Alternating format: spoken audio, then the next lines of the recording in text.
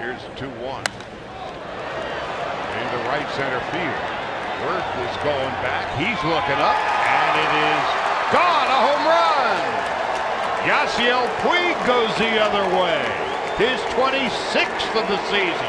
And the Dodgers take a 2 to nothing lead.